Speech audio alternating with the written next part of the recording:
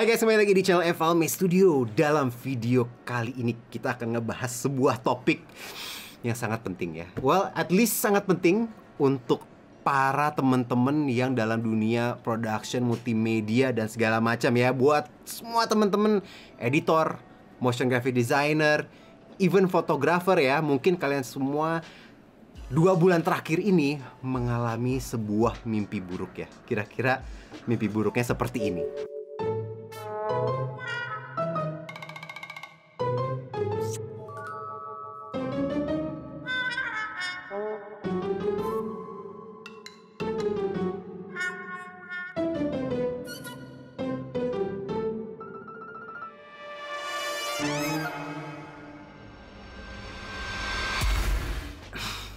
Kira-kira seperti itu ya.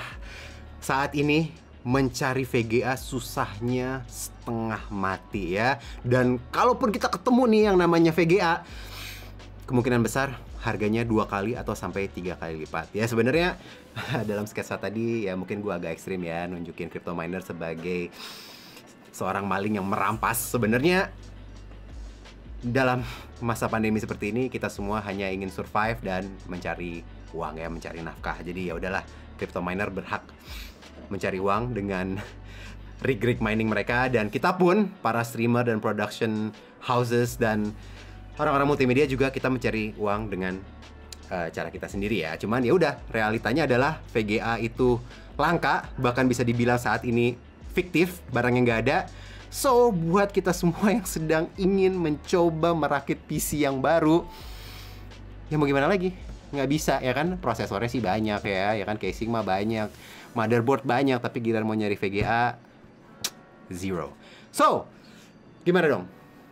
Apa solusinya? Apa yang bisa kita lakukan? Karena demand kita tinggi, ya kan? Nggak cuma untuk streaming, tapi untuk motion designer juga, untuk editor juga uh, tinggi demandnya karena kita masih uh, pandemi belum selesai ya dan masih banyak job-job yang uh, remote untuk motion design juga karena yang namanya motion itu kan tidak perlu ada shooting on ground segala macam jadi demandnya juga lagi tinggi kita tetap butuh hardware yang baru. So gue pikir oke okay, berarti gue harus nyari hardware yang VGA-nya sudah satu paket ya gitu ya yang nggak bisa dipisah dari motherboardnya nggak bisa dipisah dari prosesornya.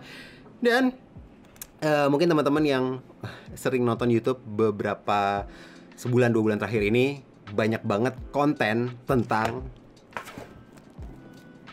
Mac Mini ya yang menggunakan prosesor M1 terbaru ciptaan Apple yang sedang rame banget di uh, dunia YouTube dan di mana pun ya karena konon katanya walaupun dia harganya uh, ya harga retailnya sekitar 8 ya 900 dolar lah ya ya sampai Sini kita kemarin dapat di harga sekitar 13 jutaan, tapi bisa ngedit 4K tanpa masalah. Ya, so um, gue penasaran dan ini kita sudah dapat satu unit dan kita akan tes. Dalam video kali ini gue akan testing untuk uh, apa seberapa bener nggak sih yang orang hype-nya nih se, se powerful itukah uh, Mac Mini yang terbaru ini? So kita akan uh, shooting footage menggunakan Redcam ya 5K dan kita akan coba nanti mengedit footage-footage tersebut dengan menggunakan Mac Mini ini kita akan lihat apakah performancenya bener nih seperti yang teman-teman youtuber bule uh, pada bilang ya. Tapi sebelum itu sekarang kita akan unboxing dulu. Let's go. Oke okay, ini dia guys. Apple Mac Mini gadget paling hot di awal 2021 ya mungkin nggak paling hot tapi salah satu yang paling hot. Sedang dibahas di mana-mana karena begitu mengejutkan ya performanya. Bisa dilihat seperti biasa desainnya sangat minimalis, sangat keren, khas warna silver dari Apple ya. Gue nyebutnya apa ini ya? Mungkin dia sebuah portable ya, mini portable komputer ya karena memang size-nya kecil tapi kemampuannya sama seperti desktop yang 2 sampai 3 kali lipat lebih besar. Untuk in out-nya bisa dilihat ini di bagian belakang ada port untuk power, Ethernet, Thunderbolt, USB 4, HDMI 2.0 dan USB-A dan ada juga jack headphone ya. Ada apa lagi dalam boxnya? Bisa dilihat di sini ada apa ini bukan manual sih ya, lebih ke kayak quick start guide aja. Dan ada stiker juga buat yang die hard fans ya biasanya ditempel di mobil. dan ada kabel power dan kabel powernya yang model lama ya. Ini kayak model power DVD zaman dulu. Dan udah nggak ada apa-apa lagi ya, boxnya bisa dilihat sudah tidak bisa dibuka lagi, sudah kosong. Jadi memang hanya unit uh, stiker, manual book dan power saja. Nah, gue akan menggunakan third party nih hardware yaitu Thunderbolt 3 dual display adapter by Lindy. Kenapa? Karena uh, gue pengen menggunakan dua monitor ya jadi gue harus menggunakan tambahan dari Lindy ini dan modelnya keren juga. Ini warnanya silver, cocok sekali dengan Mac Mini-nya ya. Jadi di sini ada kabel USB Thunderbolt untuk nyolok ke Mac Mini-nya dan dua port display untuk ke dua monitor. Dan untuk kabelnya, untuk menjaga kualitas pastinya gue akan menggunakan Lindy juga. Ini adalah kabel Lindy DisplayPort to DisplayPort. Oke, okay, so gue udah selesai men-setup Mac mininya ya, ini dia. Dan kita menggunakan dua monitor di sini dan agar bisa menggunakan dua monitor, uh, gue menggunakan Lindy ya. Ini Thunderbolt 2 DisplayPort. Jadi dia uh, bisa dicolok ke Thunderbolt portnya di Mac mininya dan dia bisa di output ke dua display port ya. Sangat berguna buat teman-teman yang mau menggunakan multi display. So, um, kenapa sih untuk tes pertama ini uh, kita akan coba mengedit dan menggrading uh, footage 5K. Kenapa ya? Karena uh, November kemarin ketika gue nonton videonya dari Apple ya ketika mereka mau launching uh, silicon chip mereka ketika mau, mau launching si Mac Mini ini dan juga uh, MacBook Air yang baru ya yang menggunakan M1 chip juga.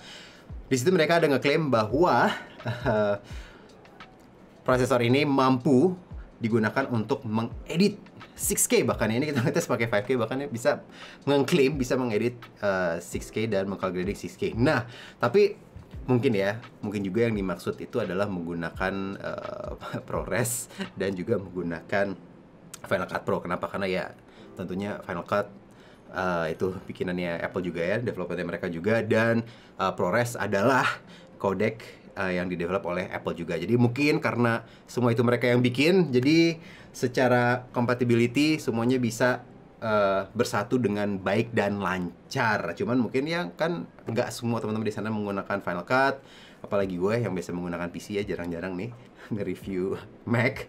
Uh, mungkin pakainya lebih ke Premiere Pro atau DaVinci Resolve. Nah di sini gue menggunakan DaVinci Resolve aja karena gratis ya kan bisa mencoba dan gue sudah mengimpor sudah mengcopy footage yang digunakan uh, beberapa footage tadi yang dari unboxing dan dari uh, sketsa tadi yang di awal ya. Uh, satu lagi, gue akan ngetes ini di, di layar sebelah kanan bisa lihat nih gue udah ada OBS karena gue nggak berhasil uh, output HDMI-nya dan masuk ke capture card ke PC. Jadi gue akan ngerekam uh, layarnya di OBS ya langsung. Nah gue tahu mungkin ini akan menambah bebannya karena digunakan untuk recording juga tapi ya kenapa enggak kita coba aja langsung ya. Oke, ini dia ya DaVinci Resolve 17. Di sini ada 4 klip dan uh, gue akan playback dan bisa dilihat di sini playbacknya sangat smooth. Yang selanjutnya juga sangat smooth. Kemudian yang selanjutnya berat ya. Dan yang satu lagi di sini bisa dilihat berat juga ya, patah-patah. Uh, bedanya apa sih dengan dua footage yang awal dan yang dua ini?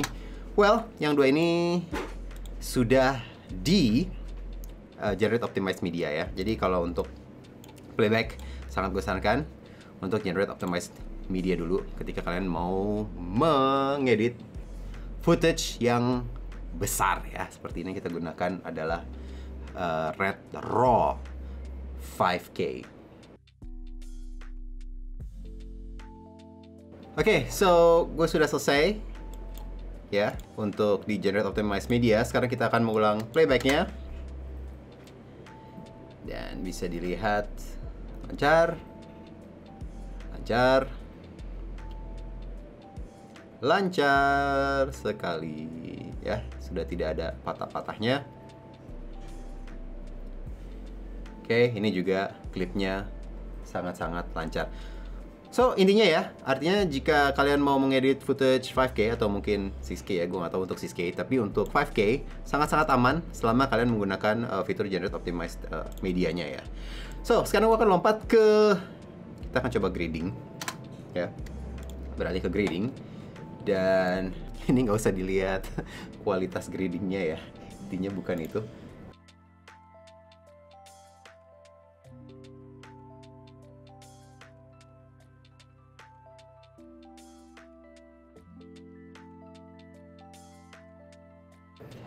Oke bisa dilihat ya setelah di apply beberapa grade tetap lancar untuk uh, playbacknya ya. Tetap lancar untuk playbacknya.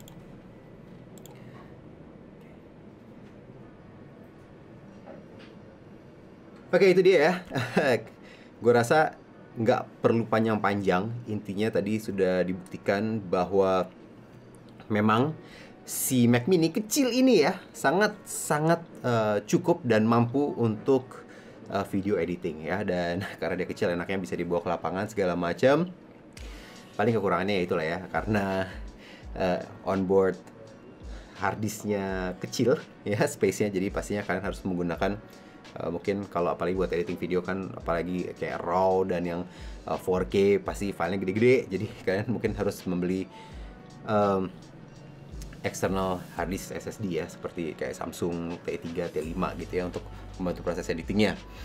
Um, tapi poinnya adalah untuk price range segitu ya yang kita beli ini kan di nggak sampai 14 juta ya uh, sudah sangat-sangat cukup untuk video editing. Nah Uh, tapi gue penasaran ya, oke okay, untuk video editing, oke okay, cukup. Nah kemarin kemarin gue nonton beberapa video yang membahas Mac Mini itu uh, gue belum banyak nemu yang menggunakan Mac Mini ini untuk uh, motion graphics. So gue pengen coba sekarang untuk mengerjakan sedikit uh, motion motion graphics menggunakan Mac Mini ini apakah akan lancar atau tidak. Let's try. Oke, okay, so untuk testing motion graphics dan After Effects ya gue akan uh, ngedownload template di sini ada apa nih ya sebuah opener ya typography opener. Saya gue akan coba ngedownload ini dan kita open di After Effects dan kita coba untuk flow-nya apakah smooth atau tidak. Oke, okay, so ini sudah gue buka ya project yang opener tadi yang typography dan bisa dilihat ini uh, komposisinya uh, 4K ya. Bisa dilihat di sini ya 3840 kali 2160 ya. So 30 fps dan kita akan coba. Ini bisa dilihat uh, belum di cache sama sekali ya, belum ada garisnya kita akan coba dari nol spacebar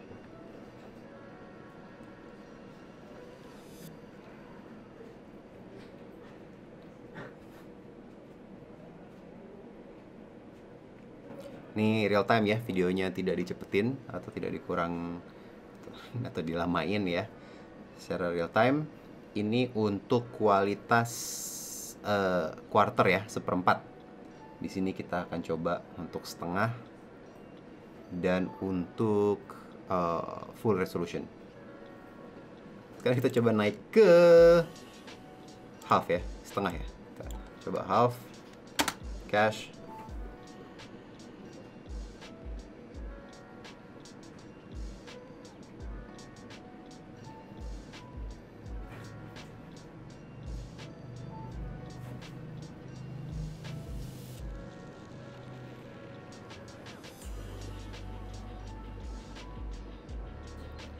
sekitar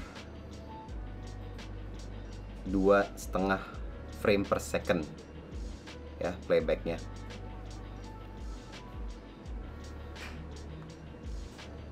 Kadang drop ke 1,7 frame per second.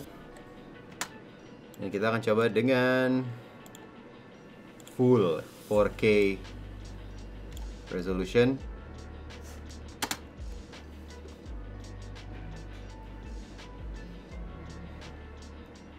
4 fps 3 fps Oke, okay, so untuk motion, uh, mungkin buat teman-teman yang tidak uh, keberatan untuk mengerjakan project kalian dengan uh, half resolution ya, dan which is biasanya memang seperti itu ya. Kita kerjainnya ngebikin nge projectnya itu animasiin segala macam biar cepat, tengah resolusi nanti uh, pas sudah selesai baru di render. Mau itu full HD ataupun 4K uh, lumayan uh, lumayan kerasa tadi ya beratnya. Uh, tapi again yang namanya motion kan relatif. Mungkin ini projectnya sedikit berat ya. Jadi tergantung project kalian juga. Cuman kalau yang sekompleks ini aja uh, bisa gitu ya. Artinya untuk motion-motion yang sangat basic pastinya sudah tidak akan uh, berasa ya. Oke, okay, so gue akan mengakhiri video ini sampai sini saja karena gue akan melanjutkan ngebahas Mac Mini tapi dalam video berikutnya. Karena uh, yang pengen gue tahu sebenarnya, oke, okay, Mac Mini ini uh, cocok untuk uh, video editing ya buat teman-teman editor monggo silahkan langsung aja nggak usah ragu-ragu lagu ragu-ragu lagi untuk uh, beralih ke Mac Mini jika kalian pengen ngebangun PC tapi uh, sedang terhambat gara-gara VGA kalau buat teman-teman yang motion designer juga yang uh, butuh device baru, hardware baru bisa mencoba Mac Mini juga recommended banget. Nah, tapi bagaimana untuk streaming, ya kan? Uh, Oke okay nggak sih Mac Mini buat streaming, ya kan? Apalagi untuk uh, bukan cuma buat streaming sendiri ya, untuk digunakan untuk job, apakah bisa untuk multicam segala macem. Nah, dalam video berikutnya gue akan mempairing Mac Mini ini dengan sebuah device lain ya yang berbasis Thunderbolt untuk menambah port-portnya gue akan nggak akan ngasih tau dulu device itu apa dan kita akan coba ya menggunakan OBS dan device-device tambahan tersebut untuk live streaming production. So kalau penasaran buat teman-teman yang mungkin ada kepikiran, ah gue pengen butuh device nih gue untuk streaming, apakah Mac Mini cocok untuk streaming atau tidak? Penasaran? Sampai ketemu di video berikutnya. Jangan lupa subscribe di Envame Studio.